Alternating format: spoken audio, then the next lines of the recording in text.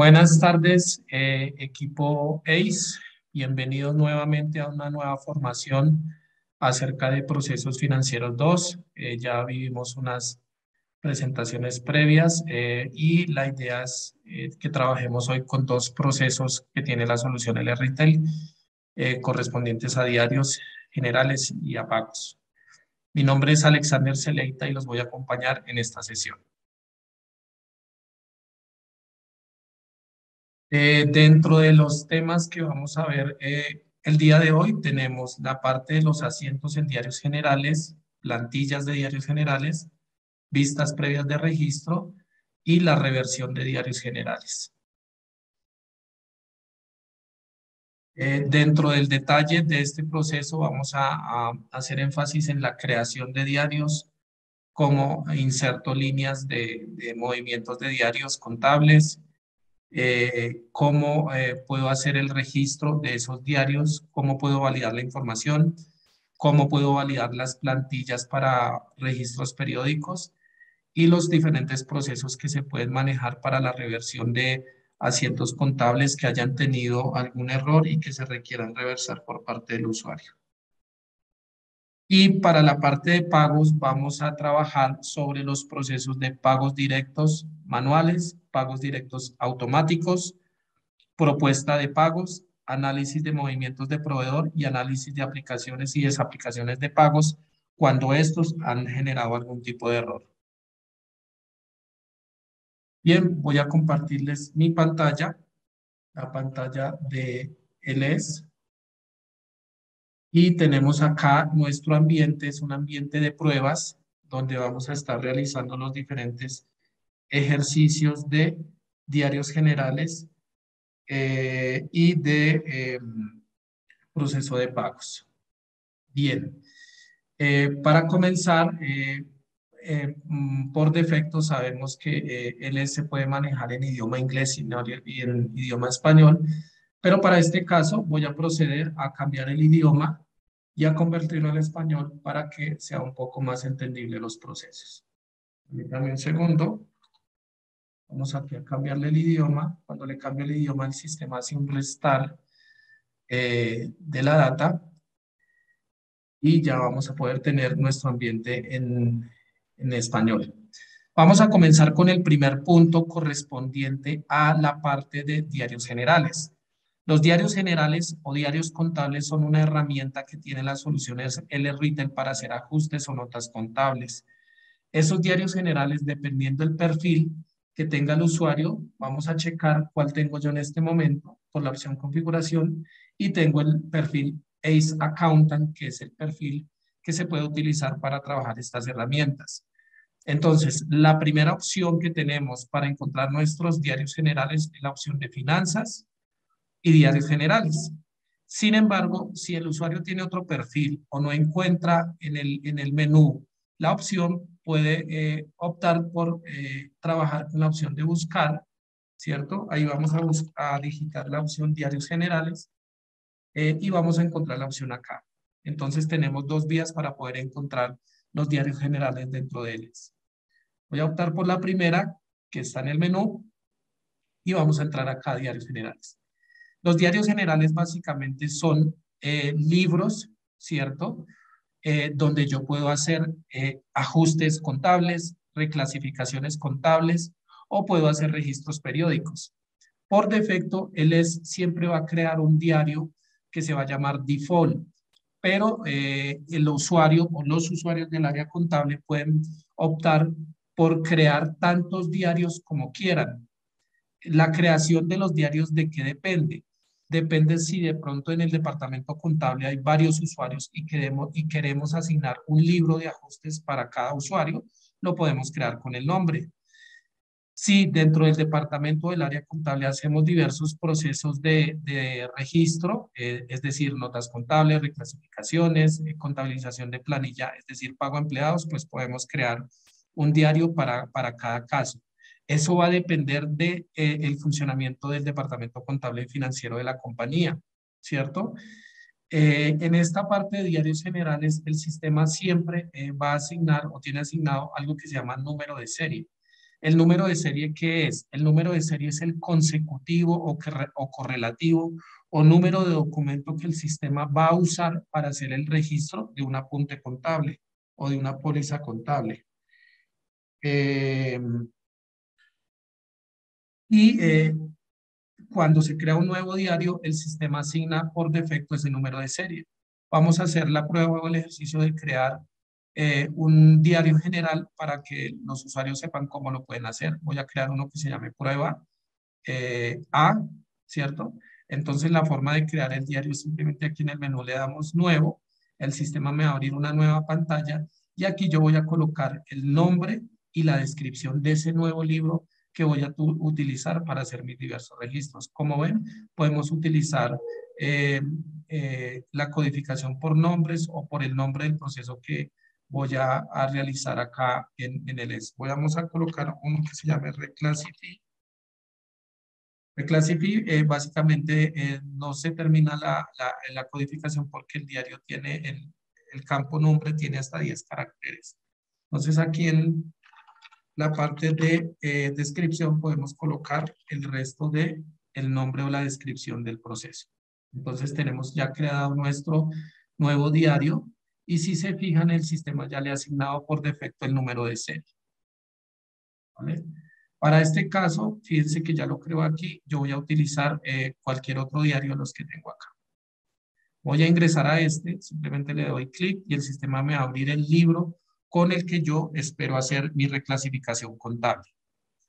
Cuando un usuario entra al libro, va a encontrar un sinnúmero de columnas, ¿cierto? Nos vamos a enfocar básicamente en las que queremos ver en pantalla, pero recordemos que la filosofía de LRTL es que el mismo usuario puede configurar qué tantas columnas quiere ver, mostrar o ocultar columnas de este diario o cualquier formulario en el RTL. Para poder hacerlo, nos vamos a ubicar acá en la parte superior, donde está el icono de engranaje, y vamos a darle personalizar. Yo quiero ocultar en este, en este momento la columna código divisa. Entonces, para ocultarla, simplemente le doy clic acá y le doy ocultar. Con ello, el sistema va a ocultar esa columna de la pantalla para que el usuario no la vea. No la vea. Si quiero agregar un campo que no esté aquí, simplemente le doy campo y el sistema me va a desplegar a la parte derecha nuevamente las columnas que tiene por defecto. Simplemente yo escojo la que quiero y la voy a colocar con el mouse a desplazarla de derecha a izquierda. Lo voy a hacer nuevamente con esa columna que se llama código de visa, la vamos a poner aquí y ya el sistema la inserta. Entonces ya tenemos nuevamente la columna acá. Para poder hacer una línea o, o insertar un nuevo registro en el ES, vamos a tener siempre en cuenta la fecha de registro. El sistema por defecto va a colocar la fecha de, registro en el día en que estamos, es decir, 14, si lo voy a hacer mañana pues será 15 y así sucesivamente. El número de documento es el consecutivo con el que se va a registrar en la línea, este no lo vamos a mover, y el tipo de movimiento va a ser cuenta. Eh, en este caso, como vamos a trabajar sobre reclasificaciones contables o, temas de eh, ajustes, entonces lo vamos a hacer de esa manera. Eh, después de eh, validar estas columnas, vamos a ir acá donde dice número de cuenta. Aquí es donde vamos a seleccionar cuál es la cuenta que yo voy a utilizar para hacer mi registro, ¿cierto? Eh, voy a utilizar cualquiera de las que tenga aquí, ¿cierto? Y voy a colocar la partida del registro. El diario general básicamente funciona como una cuenta T donde tengo partida y tengo contrapartida, es decir, débitos y créditos. Y acá a la parte derecha, donde dice tipo de, de contrapartida, voy a seleccionar otra cuenta, ¿cierto? Y ya el sistema va a crear la partida del movimiento y la contrapartida del movimiento, ¿cierto? Eh, y lo único que me falta acá es colocar el importe por el cual voy a hacer el registro, es decir, el valor monetario. Vamos a colocar acá 15 mil, ¿cierto? Y vamos a, em, vamos a entender un poco cómo funciona esto. Yo tengo partida y contrapartida en la misma línea. Cuando el valor es positivo, quiere decir que va a ser débito para esta cuenta y crédito para esta cuenta, ¿cierto? Si yo pongo negativo el importe, el sistema va a, va a crear crédito para esta cuenta y débito para la cuenta de la derecha. Entonces, depende de cómo se quiera hacer el registro. Si ustedes se fijan, eh, eh, y esto es una regla y una buena regla de control de es, y es que al final el balance o el saldo tiene que ser cero. Es decir, toda partida tiene que tener su propia contrapartida. Esta es una de las formas que tenemos para crear un diario general. Sin embargo, existe otra forma y esta otra forma va a aplicar dependiendo de qué tan fácil para el usuario es interpretar partida y contrapartida en la misma línea o partida en, una segunda línea y contrapartida en una tercera. Es decir, vamos a colocar nuevamente aquí la cuenta, ¿cierto? Y la contrapartida ya no la voy a colocar en la misma línea, sino la voy a colocar en una línea separada. ¿vale? Y en la parte superior voy a colocar el valor positivo y en la parte inferior vamos a colocar el valor negativo. ¿Qué quiere decir esto? Que el sistema en el momento que yo registre estas dos líneas va a generar un débito para esta cuenta y un crédito para esta cuenta. Eh, vamos a fijarnos que cuando trabajemos en más de una línea, es decir, eh, este ejemplo que estoy haciendo, que el sistema siempre va a generar un balance por fecha, por número de documento eh, y por importe. Quiere decir que estas dos líneas donde quiero hacer el registro débito y crédito deberán tener la misma fecha de registro y el mismo número de documento. Se lo voy a colocar y si yo quisiera analizar estas dos líneas, el sistema va a realizar un registro exitoso porque ambas líneas cuentan con la misma fecha de registro y cuentan con el mismo número de documento y débitos y créditos, pues al final el saldo es cero. ¿Qué pasaría si yo coloco por error, no me doy cuenta de que este número de documento es diferente, ¿cierto? En el momento que yo quiera hacer el registro, el sistema no me lo va a permitir. Ya lo vamos a ver con un ejemplo. Vamos a trabajar acá en nuestra primera línea para mostrarles cuáles son las diferentes opciones que tiene el menú de los diarios generales. En la parte superior, eh, si yo quisiese exportar estas líneas a un Excel, lo puedo hacer. Simplemente le doy abrir en Excel y el sistema me va a generar un archivo en Excel con las líneas del diario general que yo tengo allí. ¿Vale? Si lo quiero hacer para un tema de un análisis eh, eh, externo, lo puedo hacer. Adicionalmente, si me ubico en esta cuenta y le doy aquí cuenta, en la opción del menú y ficha, el sistema me va a ir a sacar la cuenta contable donde me va a traer la ficha de información para conocer el saldo de dicha cuenta. ¿Cierto? Si yo le doy cuenta y le doy movimientos, el sistema me va a traer los movimientos generados para esa cuenta. Si quiero hacer un análisis previo antes de hacer el registro. Eh, ¿Qué más tenemos acá? Vamos a filtrar este documento y esto es una, una herramienta muy importante que tiene la solución LS y es, yo puedo tener muchas líneas aquí en mi diario, pero si yo quiero filtrar solamente este documento, puedo hacerlo por dos vías. Ubicándome en el número de documento y en la opción de la columna le doy filtrar y el sistema automáticamente me va a generar una eh, nueva ventana donde yo puedo empezar a digitar, ¿cierto? El número del documento que quiero filtrar. Esta es una de las formas que tenemos para hacerlo. Voy a quitar el filtro y el sistema me muestra nuevamente las tres líneas. Otra forma de hacerlo es, me ubico acá y le digo filtrar este valor. Ya el sistema no me va a abrir la columna, sino me va, a filtrar específicamente este número que tengo acá. Vamos a quedarnos acá y vamos a proceder a hacer las diferentes eh, registros que tiene u opciones que tiene este diario general. En la parte superior, y esto es una herramienta también muy importante del RTL, el usuario siempre va a tener la posibilidad de revisar qué va a pasar antes de, es decir, darle una vista previa a lo que va a ser el registro. En este caso, como solamente voy a afectar contabilidad, el sistema me va a mostrar las cuentas contables que vamos a usar para el registro y yo puedo validar la fecha de registro, la cuenta contable y si el importe para cada una de esas líneas va a ser débito o crédito. Una vez validada la información, eh, el usuario puede proceder a publicar o registrar contablemente esta línea que tengo en pantalla. Registrar eh, es básicamente contabilizar la línea que yo tengo aquí. Es decir, en el momento que yo le dé registrar, el sistema me va a contabilizar los valores débitos o créditos, en este caso de 15 mil, para cada una de las cuentas indicadas. Vamos a darle registrar, le vamos a decir que sí, y el sistema genera el registro y me eh, vuelve a mostrar las líneas que previamente estaban ocultas por el filtro. Aquí vamos a ver algo bien particular. Fíjense que tenemos la misma fecha de registro, pero no tenemos el mismo número de documento, a pesar que débitos y créditos nos da igual. Si yo quisiese darle vista previa, el sistema me va a generar un mensaje que me dice que la línea tiene un descuadre o un desbalance de 15,000. ¿Esto a qué se debe? A que no tengo el mismo número de documento para hacer el registro y recuerden que para hacer partida doble y dar balance cero debemos contar cuando son más de una línea con la misma fecha, el número de documento y obviamente el valor de débitos y créditos. Vamos a hacer otro ejemplo. El usuario se equivocó y le puso aquí 16,000, ¿cierto? Y yo quiero dar acá vista previa de registro. El sistema me va a decir que tengo un descuadre o un desbalance de 1,000 unidades monetarias. Esto debido a que débitos y créditos no son iguales. Vamos a corregirlo. Vamos a darle vista previa y ya el sistema me debería permitir mostrarme qué es lo que va a pasar antes de que yo quiera hacer el registro.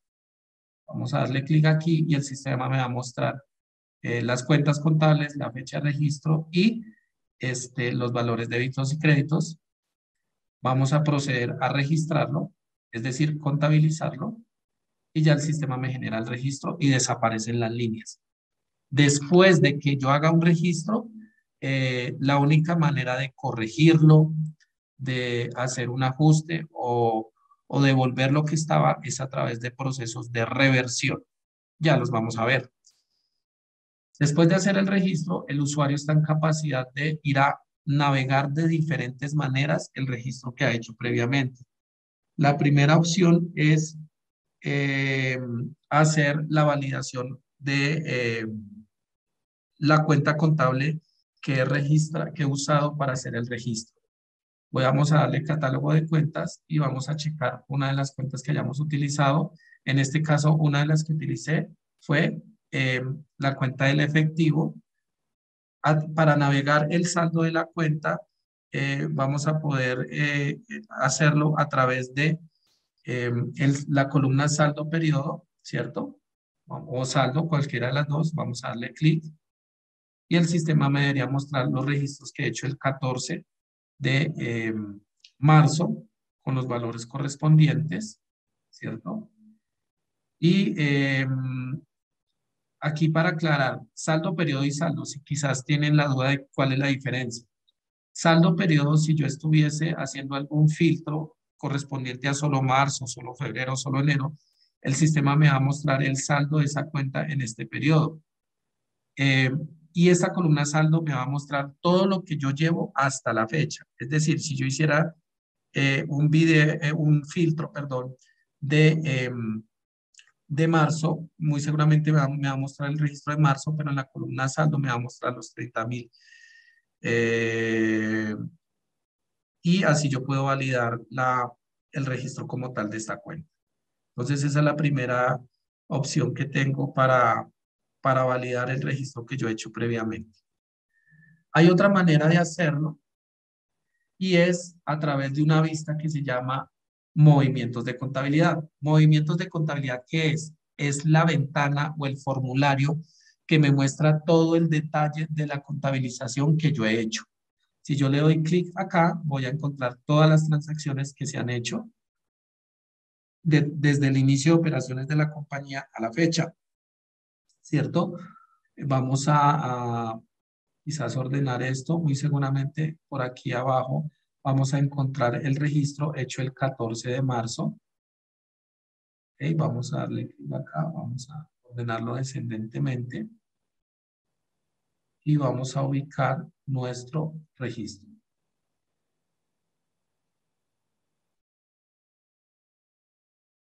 Si quizás no aparece en esta vista, lo que podemos hacer para validar el número de documento con el que se registró es ir nuevamente al catálogo de cuentas, ¿cierto?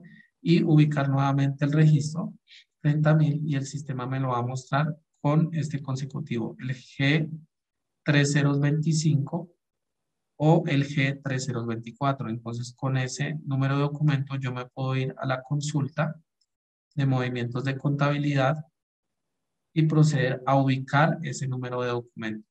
Recuerden algo, em, esta es la ventana general de navegación de los detalles contables, pero ustedes pueden acudir aquí al filtro y filtrar por número de documento. Le vamos a dar G, es, perdón, es con G mayúscula,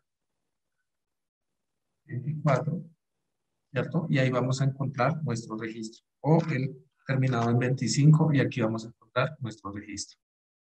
Esto para que podamos validar que efectivamente yo puedo ir a consultar los movimientos desde la ficha de la cuenta donde hice el registro o desde el detalle de movimientos contables.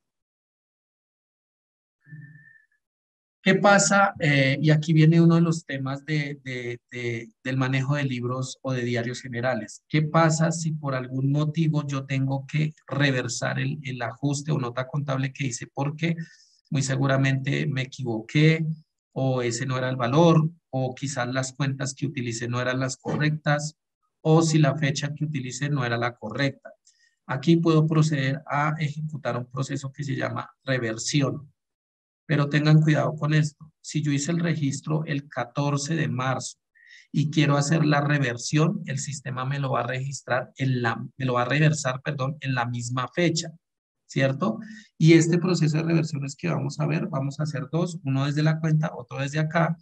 Eh, este proceso de reversiones se hace cuando, la, cuando dicha reversión corresponde al mismo mes o al mismo periodo en que el usuario está trabajando.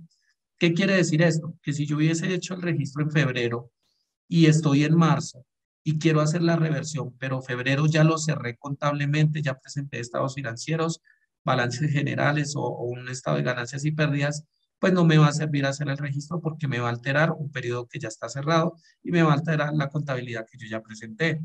Para ese caso, eh, mm, y, si necesitamos reversar, eh, lo que debemos hacer es un asiento contable contrario al que hice inicialmente.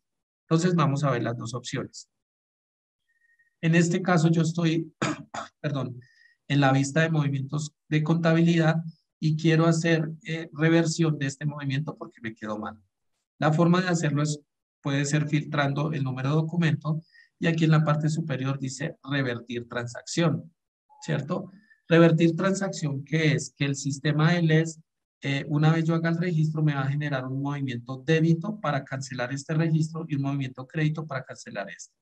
Siempre lo va a hacer de manera contable, es decir, no existen las opciones de eh, anular lo que yo ya hice, modificar lo que yo ya hice. Acá no existen esas dos opciones. Aquí todo lo que se hace, y más por temas de auditoría y de trazabilidad de la información, es reversarlo, generando un movimiento contable contrario a lo que yo ya hice. Esto en el caso de los diarios generales. Vamos a darle aquí proceso, reversión, transacción. El sistema me genera una nueva ventana donde, me va, donde yo voy a corroborar lo que él va a reversar y voy a proceder a darle revertir. Me pide nuevamente confirmación, le digo que sí y el sistema efectivamente realiza la reversión. Ahora ya no veo dos movimientos, ahora veo cuatro porque generó los movimientos correspondientes para cancelar cada una de las cuentas. Esa es la opción para reversar cuando estoy en el mismo periodo. Vamos a checar la cuenta bancaria, una de las cuentas que habíamos utilizado, perdón, la cuenta contable que eh, habíamos utilizado inicialmente, ¿cierto? Eh, esta. Entonces, fíjense que también yendo directamente a la cuenta, puedo ubicar el movimiento o el registro que quiero reversar. En este caso, eh, el, número terminado en 25 ya lo había reversado.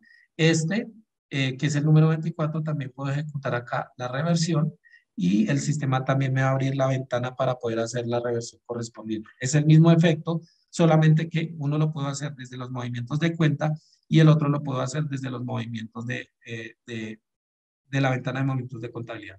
Voy a dejar, decir que sí, ¿cierto? Y ya efectivamente el sistema me ha reversado todo el movimiento. Ahora, ¿qué pasa si el movimiento que yo quiero reversar es de un periodo eh, diferente, es decir, de un periodo previo?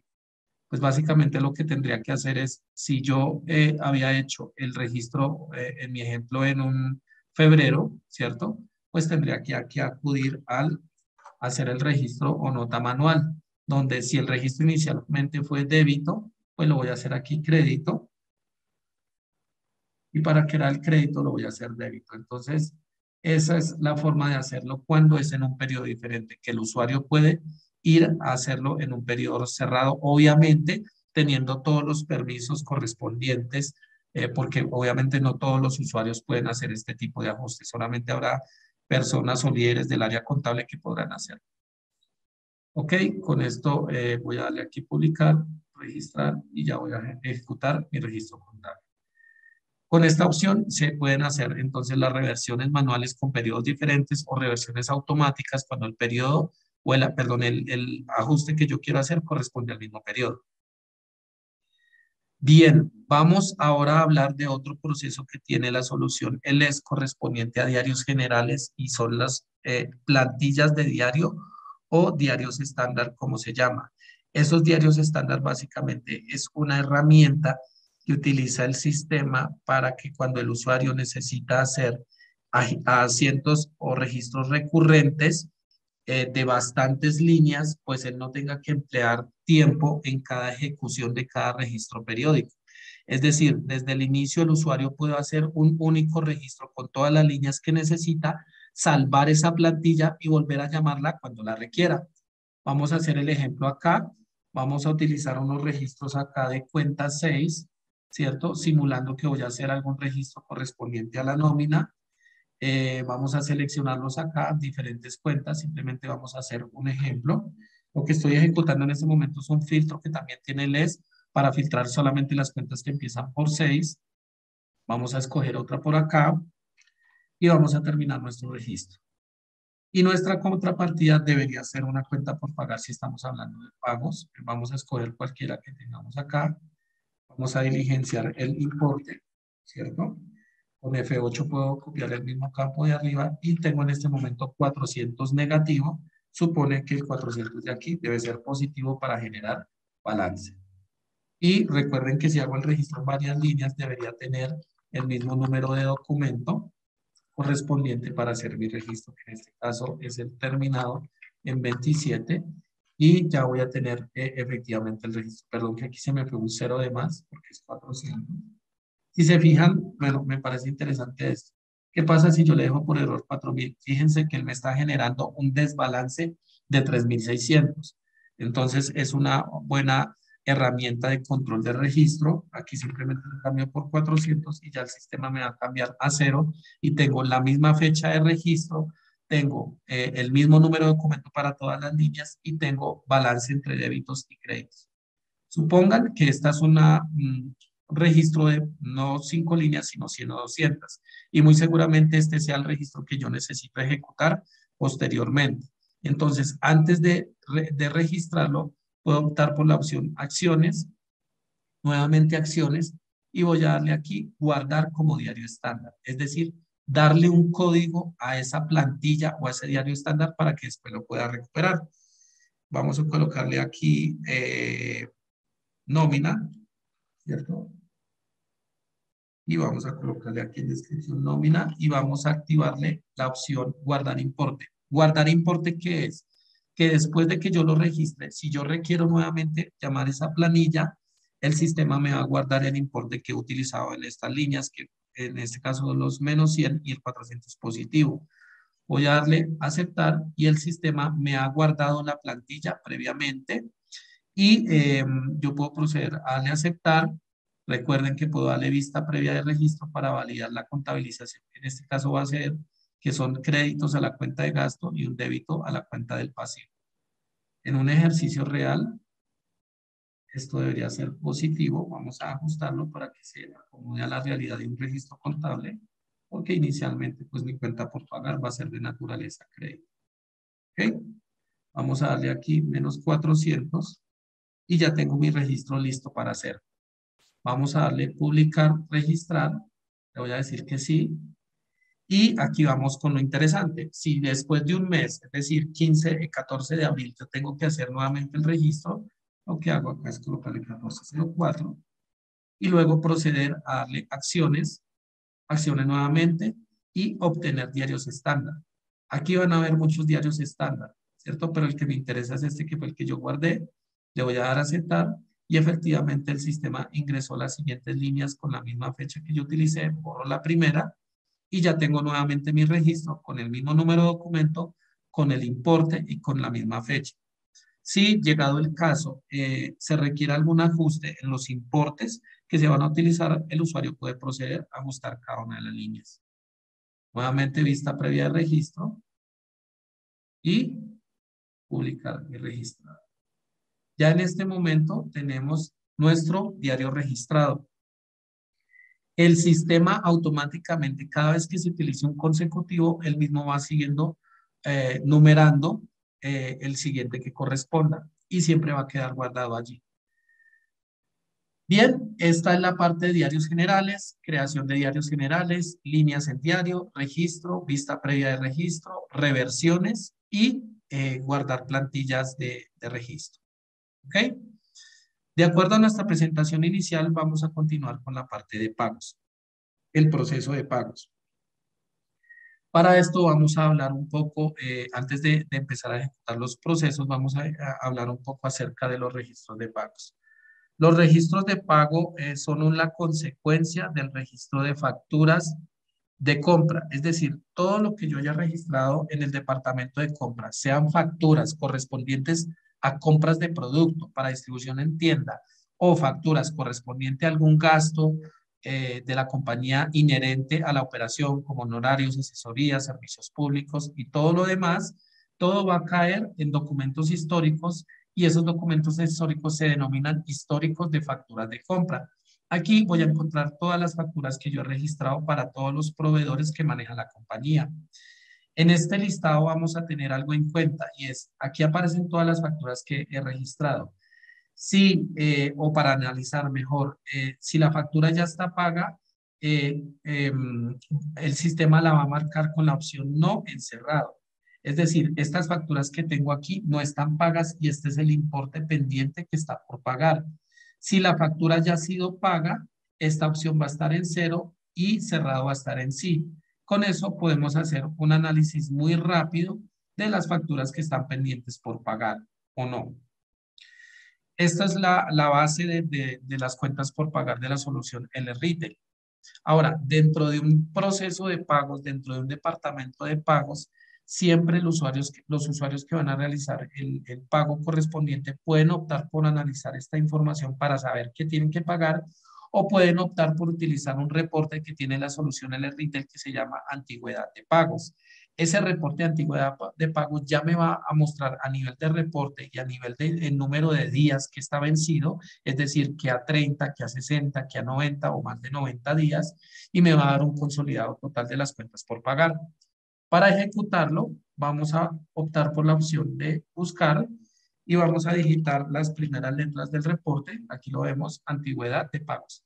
Tenemos otro que es cobros, pero eso es para la facturación en ventas directas de las, desde la solución LS. Si yo le doy aquí antigüedad de pagos, el sistema me va a mostrar el reporte y acá en el reporte yo procedo a incluir los filtros para sacar la información de lo que quiero. Recuerden siempre que este, al igual que cualquier reporte, con esta opción yo lo puedo anclar en el menú como un acceso favorito para que después no tenga que buscarlo a través de la opción buscar. Eh, voy a dejarlo aquí a marcarlo y ahorita vamos a checar que efectivamente el reporte se colocó en la parte del menú.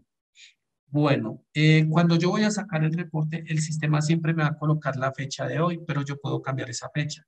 ¿Esa fecha qué significa? Es una fecha que le, que, eh, le indica al sistema hasta qué fecha voy a sacar las facturas vencidas. Es decir, si yo lo saco hoy, el sistema me va a traer qué está vencido hasta hoy o hasta la fecha que el usuario coloque. Em, muy seguramente en el departamento de pagos, tesorería de la compañía, eligen uno o dos días en la semana para hacer pagos. Este reporte podría servir para ello, para sacar en aquellos días en específico donde vamos a hacer toda la gestión de pago a proveedores por facturas. Esta opción de fecha de vencimiento se la vamos a, dejar habilitada. Longitud del periodo vamos a colocarle 1M siempre. ¿Por qué 1M? Porque 1M significa un mes. Es decir, él va a calcular de mes en mes hacia atrás em, el vencimiento, qué tan, qué tan antiguas están las, eh, las cuentas por pagar del proveedor. ¿Qué otra opción vamos a utilizar? Vamos a activar esta opción que dice imprimir detalle. ¿Qué es esta opción? Si yo, las, si yo saco el reporte sin esta opción, el sistema solo me va a dar un total de lo que yo le debo eh, a Ace Corporate, por ejemplo. Pero si yo le doy imprimir detalle, él me va a decir, ok, tú le debes un millón de pesos a Ace, pero ese millón de pesos está contemplado por los siguientes documentos, es decir, las facturas que están vencidas. Entonces, siempre va a ser interesante saber el detalle de las facturas que yo estoy pagando. Eh, ¿Qué más tenemos acá? Si yo quiero, puedo exportar este informe a Excel eh, después de haberlo sacado por vista previa. Y el último filtro que vamos a utilizar es este. Eh, la opción de filtro. Esta opción en la pestaña proveedor me va a permitir filtrar algún proveedor en particular. Si yo filtro AceMX, solamente me va a, facturar me va a sacar las facturas de AceMX. Pero si yo lo dejo sin eh, código de proveedor, él me va a sacar todas las cuentas por pagar que yo tengo, no solamente de ICMX, sino de los diferentes proveedores que tengo en la solución L Retail. Vamos a sacarlo sin esta opción, vamos a darle vista previa y el sistema efectivamente me va a mostrar todas las cuentas por pagar que yo tengo para Ace Corporate y, los diferentes eh, proveedores que yo tenga aquí. ¿Qué pasa con esta información? Normalmente, eh, como les decía, me va a sacar el nombre del proveedor y los documentos que yo tengo vencidos a la fecha y adicionalmente el número de días, qué tan, eh, eh, en qué columna se encuentra ese valor de factura, si es en la de 28 días, de 29 a 59, más de 59 días, ¿cierto? Por cada uno de los proveedores. Y al final, ¿cierto? Me va a sacar a nivel de porcentaje qué tan antiguas están las deudas por pagar. Lo importante aquí, lo que siempre van a ver, acá vemos un caso particular y es que solamente deberían de haber facturas, ¿cierto? Eh, acá vemos notas crédito, pero seguramente porque esas notas crédito también están pendientes por aplicar alguna factura, ¿cierto? Pero es interesante que lo, que lo revisemos. Si en, su solución él es de cada una de las tiendas, existen eh, notas crédito sin aplicar, lo cual no debería pasar. Eh, el sistema saca las, las notas crédito acá para hacer una especie de balance real de lo que yo debo, pero en términos generales él solo debería sacar las facturas. Ok, este reporte eh, obviamente lo estoy sacando en vista previa, pero eh, yo puedo, antes de sacarlo, si quiero mandarlo a PDF, a Word o Excel. Es cualquiera de las opciones que puedo utilizar. Entonces vamos con dos formas de sacar las cuentas por pagar. O lo analizo aquí a nivel general o me voy con un reporte que me muestre qué debo yo. ¿Qué otro análisis se puede hacer en cuentas por pagar? Yo puedo ir a buscar el proveedor específico y analizar cuánto le debo a él. Acá en la opción de proveedores, vamos a darle clic y vamos a encontrar todo el listado de proveedores. Vamos a ubicar a AceMX y la razón es que es quien más tiene facturas aquí. Aquí está. Y el sistema me muestra en este campo de saldo cuánto le debo yo a él. ¿Cierto? Este número no es un número estático. Este número se puede analizar. Yo le puedo dar clic y él me va a desplegar todas las facturas que yo debo en este caso. Facturas eh, que están en rojo porque ya pasó la fecha de vencimiento. De hecho, también encontramos pagos que no se han aplicado. Esto es muy importante también entenderlo. Que si yo he hecho pagos que no he aplicado factura, esos pagos debiesen estar aplicados. Si hay notas crédito abiertas, las notas crédito debiesen haber estar aplicadas a alguna factura. Al final, este saldo que me muestra aquí va a ser la suma resta de los pagos y notas crédito versus las facturas que yo tengo. Todas estas facturas están vencidas y además que están en rojo, el sistema en la columna importe pendiente siempre me va a decir cuánto debo yo de esas facturas y la fecha correspondiente al vencimiento. Este es el análisis también que el usuario puede hacer para entender qué tanto le debe pagar al proveedor. Adicional a esta vista, el proveedor también cuenta con una, con una consulta que me ayuda a entender el historial, es decir, qué ha pasado con ese proveedor desde el inicio de operaciones con él a la fecha. Si yo le doy movimientos, él me va a mostrar todos los documentos que yo he hecho correspondientes a ese proveedor. Muy seguramente, si se fijan, vamos a encontrar pagos que no están en rojo y facturas que no están en rojo. ¿Esto por qué? Porque estas facturas o pagos o notas crédito ya han sido aplicadas a, a, su correspondiente movimiento y muy seguramente el saldo o el importe pendiente va a ser cero. Solamente aquellas que tienen algún saldo corresponden a color rojo, quiere decir que aún se encuentran pendientes por aplicar. Esta es otra forma de validar la información de los pagos de, un proveedor en particular. Bien, ah, después de haber hecho eh, algunos de estos análisis, el cual, eh, digamos, aplica de acuerdo a las necesidades del usuario, vamos a empezar a trabajar entonces la sesión o la parte de pagos. Tenemos varias opciones para hacer los pagos. Hay pagos directos automáticos o pagos directos manuales o una propuesta de pagos. Son las diferentes opciones. ¿Cuál es la diferencia? La propuesta de pago es aquella utilizada en los días que se ha escogido para pago, donde yo le digo al retail que me ayude a traerme a un libro que se llama Diario de Pagos y me traiga todas las cuentas por pagar que yo tengo a la fecha. Es decir, el mismo sistema me va a dar la información.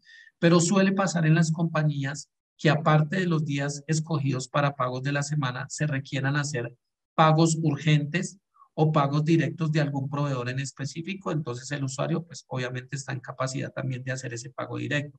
Vamos a ver las dos formas de hacer el pago. La primera opción es la manual, es decir, el mismo usuario va a ir a diligenciar el libro de pago y va a escoger a quién le va a pagar, con qué le va a pagar y qué factura le va a pagar. Para poder hacerlo, vamos a ubicar en la parte de tesorería la opción diarios de pagos. Diarios de pagos, al igual que los diarios generales, son libros que tienen la solución LS que nos sirven para hacer los registros de los pagos a proveedores de las facturas correspondientes. Acá en la parte de default vamos a darle clic y el sistema nos va a abrir el libro donde yo voy a empezar a diligenciar la información del pago en particular de algún proveedor en específico. Em, en esta parte vamos a ubicar algunas columnas muy similares a las que vimos en el diario general, pero nos vamos a enfocar en las necesarias. Fecha de registro. La fecha de hoy, fecha de emisión del registro hoy. Y esta parte es importante. Tipo de documento. Siempre tiene que estar en pago. Un pago en proveedor es un tipo de documento pago.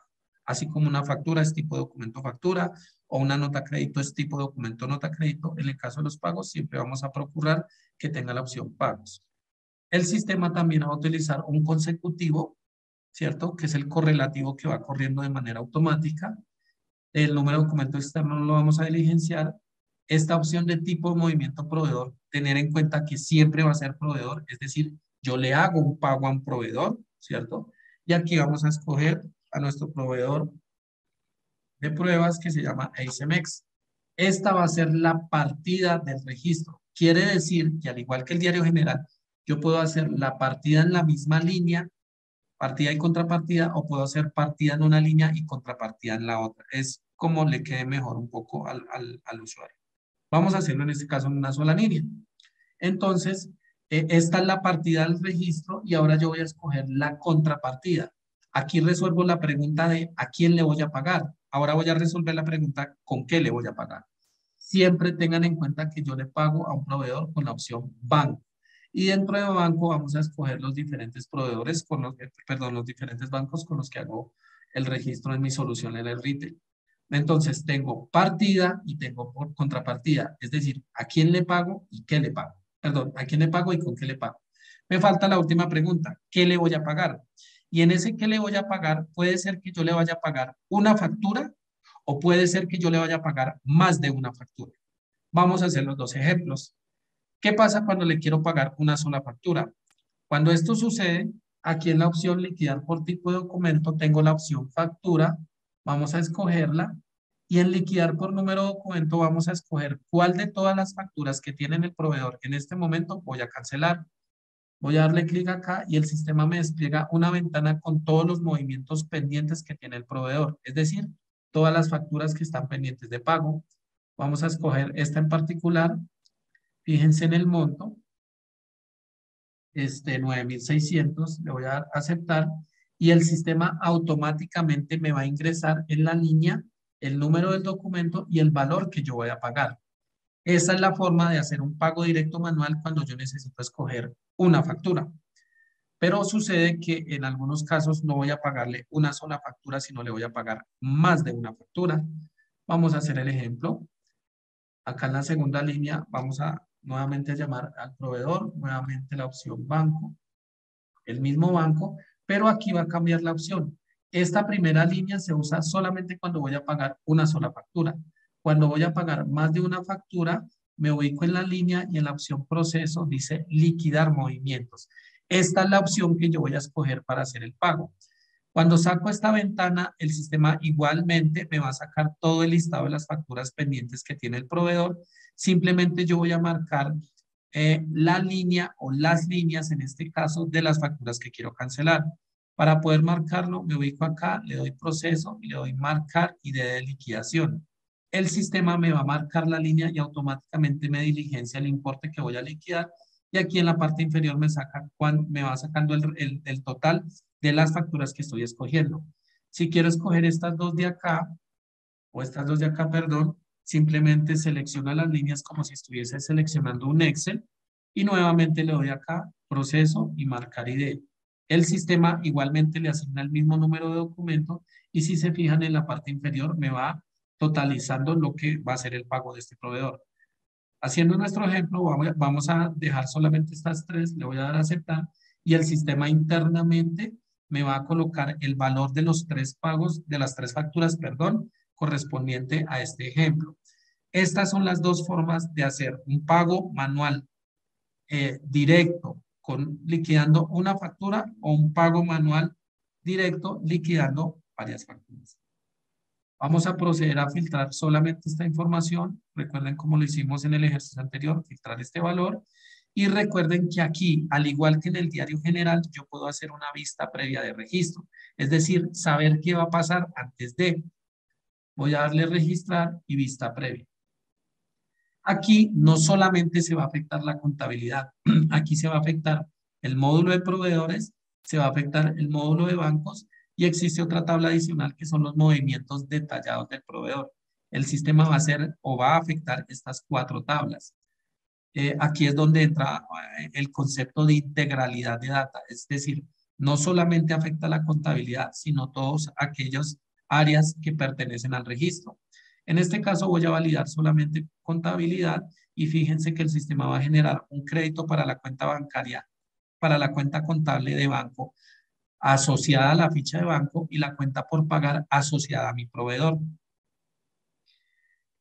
Para el resto de tablas también las puedo consultar y el sistema me va a hacer una simulación de lo que va a pasar. Es decir, voy a pagar esta factura y fíjense que el importe pendiente va a ser cero. Recuerden que el importe pendiente me dice si debo o no a la factura. Y también, obviamente, el movimiento del banco. ¿Ok? Entonces, con esta validación voy a proceder a hacer el registro correspondiente de este pago. Para la segunda línea es básicamente el mismo ejercicio, registrar, vista previa de registro. Voy a encontrar la contabilidad, los movimientos de banco, de proveedor y fíjense aquí que aquí voy a encontrar más líneas, puesto que son más liquidaciones que voy a hacer. Voy a proceder a darle eh, registrar, perdón, registrar, le digo que sí, y el sistema me va a hacer el registro correspondiente a esos pagos, ¿cierto? Si yo quisiese eh, ir a navegar o buscar esos pagos, lo puedo hacer. Y aquí vamos a encontrar, o vamos a ir, perdón, a la parte del proveedor, donde voy a buscar al proveedor AceMX, ¿cierto? Lo vemos aquí. Y fíjense que el valor o el saldo cambió, es decir, disminuyó porque hice pagos. Pero recuerden que yo puedo ir a navegar la opción y darle aquí historial movimientos y voy a encontrar los últimos pagos que corresponden al 14 de marzo, que son el pago 4010 y el pago 4011. Y ya obviamente se encuentran canceladas las facturas. ¿Qué podemos hacer acá? Quizás pasen algunos días después de que yo he hecho el pago y posteriormente el proveedor me llame a preguntarme si yo le he pagado la factura o no, o alguien quiera consultar el pago. Esto lo pueden hacer yendo a esta ruta nos vamos a ubicar en el 4010 y fíjense que la columna importe pendiente está en cero. Quiere decir que yo ya pagué, yo ya apliqué ese pago a unas facturas. Para poder encontrar la factura o las facturas que yo he pagado, simplemente me voy acá a movimiento y le doy eh, a la opción movimientos conciliados. Con esta opción el sistema me, me va a decir qué factura pagué. En, el en este caso la 10 8019. Si yo hiciese el mismo ejercicio Para el, último pago le doy movimiento y movimientos conciliados. Él me va a traer las diferentes facturas con las que yo apliqué ese pago. Esta consulta se puede hacer desde el pago hacia la, para ubicar la factura o buscar la factura y saber con qué número de pago lo hizo. Vamos a ubicar eh, la factura liquidada en el primer movimiento, que fue la factura 108019, ¿cierto? Vamos a ubicarla por acá. Factura 108019. 108019. Eh, bueno, la puedo buscar visualmente o vamos a darle acá filtro, número de documento y vamos a darle 108019 para encontrar la factura y efectivamente aquí está la factura, ¿cierto? Eh, si se fijan está con importe este, cero y si yo le doy movimiento y le doy movimientos conciliados, él me va a decir con qué número de pago fue aplicada esa factura. Esta es la forma, una de las formas de poder navegar la información del proveedor. ¿Ok?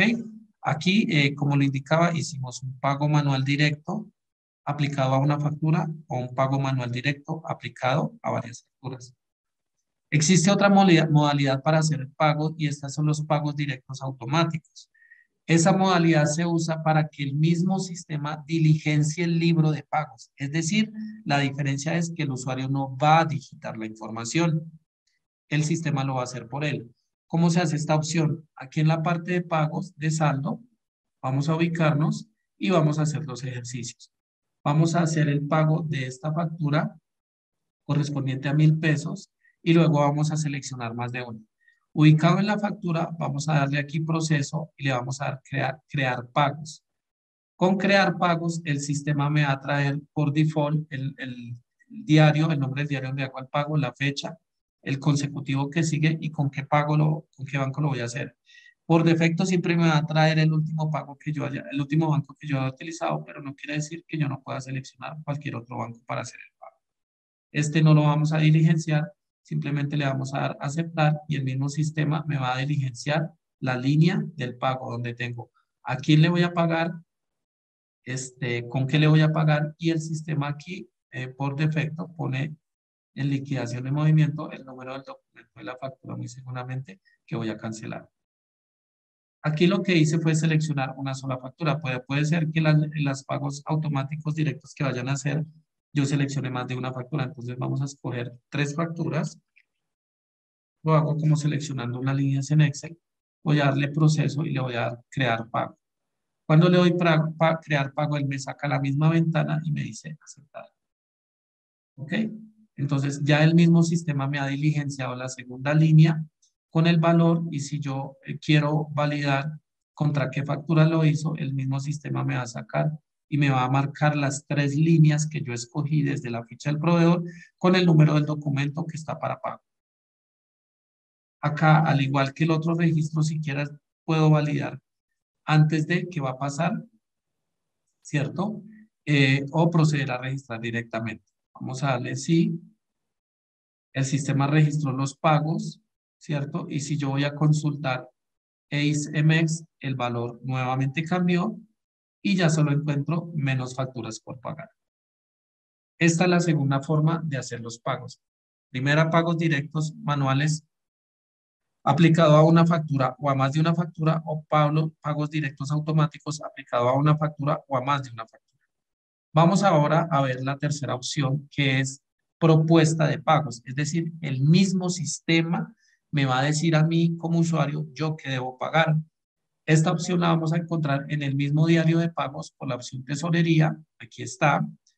Y vamos a encontrar el diario, nuevamente que hemos trabajado ahorita. Y la única diferencia aquí es que aquí no tengo que digitar la información ni que tengo que traerla proveniente de la ficha del proveedor. Aquí voy a encontrar una opción que se llama propuesta de pagos automática.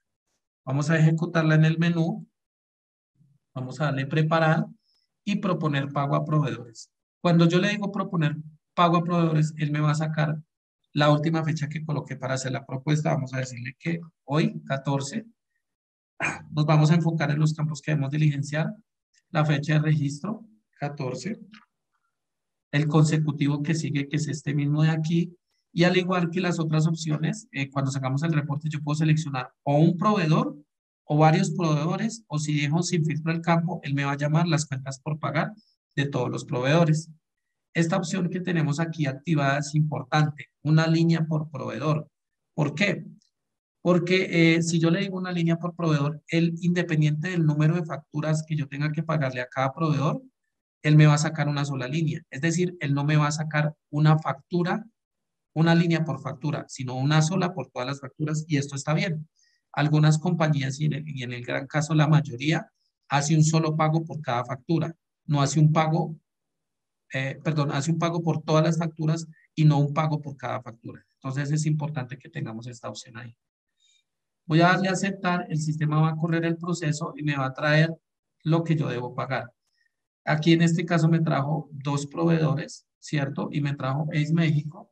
Cuando las líneas están acá, fíjense que ya diligenciado automáticamente la información y aquí en la opción proceso, él seguramente me habrá marcado a qué factura voy a corresponder e, e, este pago, tanto para este proveedor como para este otro y el que estaba que es Ace eh, MX. Cuando las líneas están acá, el, la persona que va a realizar el pago o a contabilizar el pago es libre de escoger si voy a pagar todo los proveedores, si, si, no quiero pagar alguna factura, entonces en el caso de que él no quiera pagar facturas, simplemente va a hacer, va a borrar las facturas, eh, perdón, los proveedores que no quiera, en este caso es, y dejo solamente en pantalla los proveedores que realmente sí quiero pagar. Entonces, esta es, es una buena opción. Eh, vamos a, a borrar esta y vamos a simular que solamente quiero hacer el pago del primer proveedor Acá, al igual que los otros casos, recuerden que eh, tengo que colocarle aquí eh, el proveedor porque no se lo coloqué en el proceso y simplemente proceder a hacer el registro correspondiente a ese pago. Vamos a hacer nuevamente nuestro proceso para llamar los otros dos proveedores, ¿cierto? Eh, vamos a darle aquí mostrar más. Bueno, aquí fíjense en algo. Cuando le doy mostrar menos, él me saca las opciones más usuales que uno usa o que el usuario necesita. Cuando le doy mostrar más, él me saca más opciones y aquí hay una en particular donde yo selecciono el, la contrapartida con las cuales voy a hacer el registro del pago y con ello le doy mostrar menos, aceptar y el sistema ya debería colocarme la contrapartida de estos pagos que voy a realizar. Voy a borrar eh, y vamos a hacer este ejemplo, que también suele pasar en los pagos de una compañía. La factura está por este valor, pero yo no quiero pagar todo. Yo quiero hacer un pago parcial. Entonces, aquí en la opción de proceso, liquidar movimientos, en esta opción que dice em, importe pendiente a liquidar, yo le voy a decir que solamente voy a pagar 400 pesos. Con lo cual, el saldo de esta nueva factura va a ser 133.62. Entonces, Conclusión, puedo hacer pagos totales de las facturas o puedo hacer pagos parciales. Le voy a aceptar. Eh, tengo que ajustar este valor. Y ya puedo proceder a hacer el registro correspondiente de este pago. ¿Listo? Vamos ahora sí a llamar ahora a, perdón, vamos a, hacer la propuesta de, para que veamos las facturas de ACE. Le voy a dar a aceptar. Y en este pago, pues como me quedan 133, fíjense que me está llamando el valor pendiente de esta factura que, que acabo de hacer parcial. Perdón, y también me está llamando todo lo que en particular le debo a. Fíjense que en esto, eh, curiosamente van a decir y van a encontrar que este valor no coincide con lo que está en la ficha, pero hay una simple razón y es que el sistema también está trayendo a liquidar las notas crédito que están pendientes. Por eso es muy importante, o los pagos pendientes, por eso es muy importante que el saldo que yo traiga acá corresponde a la ficha de proveedor. Y esto lo logro haciendo aplicación de todas esas facturas que efectivamente están pendientes y no han sido cruzadas. ¿Ok? Entonces, esta es la tercera opción para hacer los pagos y se llama propuesta de pagos. Vamos a borrar las líneas para dejar algunos ejemplos. Y ya. Vamos a borrar esta. Y ahora vamos a ir a otro proceso que es muy importante en, en el es para la parte de pagos. Supongan que los pagos que yo hice eh, no eran pagos correctos, ¿cierto? Entonces puede ser que alguno de los, de los, de los pagos que yo hice tenga que eh, volver a hacerlos o eh, desaplicarlos. Este fue uno de los pagos que yo hice a Merlot. Y a Merlot pues tiene un saldo de 133. Si le doy clic acá, voy a encontrar que corresponde al saldo de la factura que previamente había cancelado. ¿Qué pasa si yo me equivoqué? Y ese pago de 400 yo no lo debía hacer eh, porque no corresponde al proveedor o por cualquier otro motivo. Él les permite hacer la desaplicación y la reversión de ese pago. ¿Qué quiere decir esto? Que este pago en particular, recuerden que yo ya no lo veo acá, sino lo voy a encontrar acá en historial, movimientos, voy a encontrar el pago que yo hice. Supongan que tengan que, que este pago fue errado, como lo venían comentando, y fíjense que el importe está eh, cero, quiere decir que ya está aplicado y mi factura está pendiente por 133. Si yo quiero eh, eh, reversar este pago, lo primero que tengo que hacer es desaplicarlo, es decir, soltar ese pago de esa factura para que esta factura me quede por el monto total. Para poder desaplicarlo, me ubico en el pago, le doy proceso, eh, perdón, le doy movimiento y le doy, eh, ah, un segundo que se me perdió la opción, desliquidar movimientos y acá por proceso, desliquidar, desliquidar qué es soltar, desligar este pago de esta factura. Voy a proceder a decirle desliquidar, el sistema me saca una ventana donde me muestra qué pago y qué factura voy a desliquidar, le doy eh, desliquidar, le digo que sí, y ya el sistema generó nuevamente mi factura con el valor total pendiente y mi pago quedó por 400. Pero resulta que este pago, eh, como lo venía comentando, no debía hacerlo. Un pago que hice por error.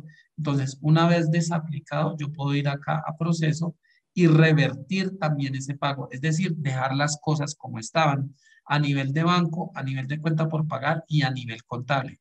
Aquí va de nuevo el tema de la integralidad de datos del sistema, ¿cierto?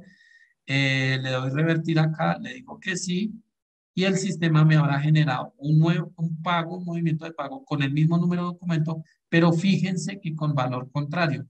Con eso puedo validar que efectivamente el sistema generó la reversión correspondiente a este pago y mi factura sigue siendo la misma factura. ¿Vale? Eh, bien, vamos ahora a otro ejemplo y es cuando las, el pago que hice, y vamos a hacer el caso de ACE con los últimos pagos. Vamos nuevamente a buscar acá nuestros proveedores. Vamos a buscar ACE MX y vamos a irnos a la última parte. Vamos a darle relacionado y voy a darle historia. Aquí voy a encontrar los últimos pagos que hice, ¿vale? Que fue eh, este que apliqué a una factura y este que apliqué a varias facturas. Suele suceder que ese pago, y en este caso el 12 que hice a, o este que hice también acá a varias facturas, me equivoqué y resulta que no tenía que liquidar esas facturas, sino otras facturas. Es decir, aquí ya no pasa el tema de reversar. Aquí lo que tengo que hacer es desaplicar. Entonces tengo que soltar nuevamente las facturas para que nuevamente me quede el importe pendiente en 3.050,75 y yo pueda proceder a pagar, a aplicarlo nuevamente a otras facturas. Entonces me ubico en el pago, le digo proceso y le digo desliquidar. Cuando le saco de liquidar, me dice, ok, vas a desliquidar el pago y vas a desliquidar estas tres facturas que fueron las que utilicé para hacer inicialmente mi registro. Acá le doy la opción de liquidar le digo que sí y efectivamente el pago vuelve a ser originalmente por 3.050,75. Pero en mi ejemplo yo quiero aplicarlo a otras facturas que quizás tenga pendientes. Entonces, eh, para aplicarlo a otras facturas nuevamente, estando en la misma línea del pago, voy a darle proceso y le voy a dar liquidar movimientos. Con esta opción, el sistema me va a sacar todas las facturas que yo tengo disponibles y empiezo yo a seleccionar cuáles quiero escoger. Suele pasar que las facturas que escoja me sumen exactamente 3.050,75, pero puede pasar que yo solamente quiera aplicar nuevamente un parcial del pago. Entonces yo me ubico aquí y voy marcando eh, las facturas que quiero pagar Aquí ya utilicé 302.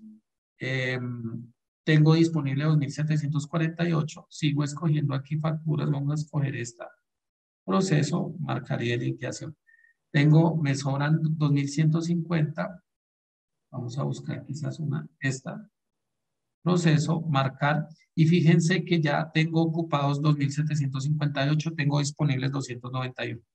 ¿Qué va a pasar acá? Vamos a simular que solamente quiero pagar esas tres facturas eh, y le voy a dar proceso registrar. Registrar, ¿qué es? Toma ese pago y aplícalo a las facturas que están pendientes. Voy a decir que sí y el sistema va a hacer la aplicación y mi pago va a quedar por el saldo pendiente. Entonces, eh, para resumir, si yo quiero reversar un pago que ha sido previamente aplicado a una factura, tengo que desliquidar el pago y reversarlo desde la ficha de proveedor. O si el caso es que el pago que hice no debió ser aplicado a esas tres o cuatro o cinco facturas, sino a otras facturas, simplemente ingresando a través de la ficha del proveedor, puedo desliquidar el pago y nuevamente aplicarlo a las opciones que correspondan. ¿Vale? Eh, ya con esta parte culminamos la parte de pagos que es bastante simple, bastante eh, fácil de ejecutar.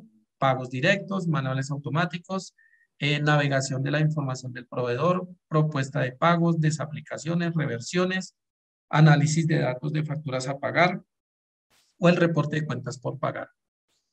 Muchas gracias por su atención. Espero poder volverlos a, encontrar en otra de las sesiones de, de entrenamientos de la compañía Optimus. Muchas gracias por su atención y que estén muy bien.